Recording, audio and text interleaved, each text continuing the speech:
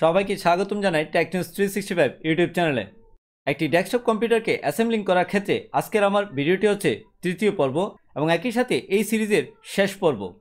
আজকের পর্বটি সম্পর্কে ধারণা নেওয়ার আগে আপনাদেরকে আমি অনুরোধ করব, যারা আপনারা এই সিরিজের আগের দুটি পর্ব মিস করেছেন, তারা অবশ্যই আগের পর্ব দুটিকে দেখে নেওয়ার চেষ্টা করবেন। আর যারা আগের দুটি পর্ব দেখেছেন, তাদের জন্যই কিন্তু আজকের ভিডিওটি অনেক গুরুত্বপূর্ণ।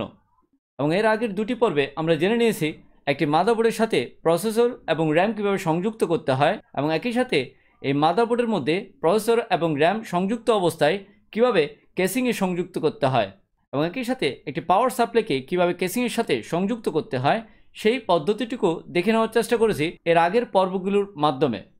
এবং আজকের ভিডিওটির মাধ্যমে আমরা জানার চেষ্টা করব একটি ডেস্কটপ কম্পিউটারে কীভাবে হার্ড ডিস্ক সংযোজন করতে হয়। এবং একই সাথে একটি ডেস্কটপ কম্পিউটারে সকল হার্ডওয়্যার সংযোজনের ভিত্তিতে একটি পূর্ণাঙ্গ ডেস্কটপ কম্পিউটার কীভাবে গঠন করতে হয়, সেই প্রসিডিউরটুকুই দেখে নেওয়ার চেষ্টা করব আজকের আমার ভিডিওটির মাধ্যমে। আসুন তাহলে আমরা দেখার চেষ্টা করি একটি পূর্ণাঙ্গ কম্পিউটার কীভাবে গঠিত হয়।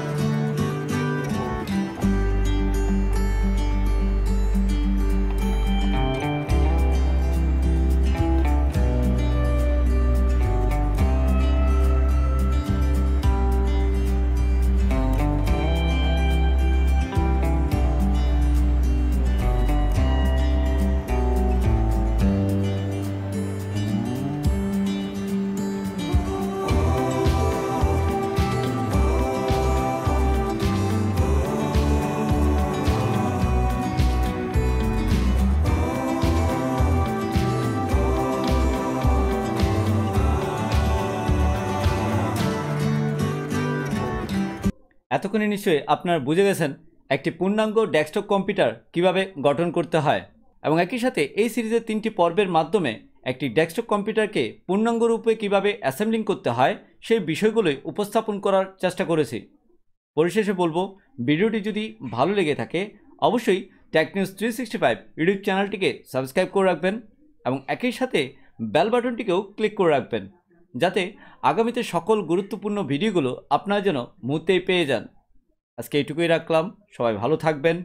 ধন্যবাদ।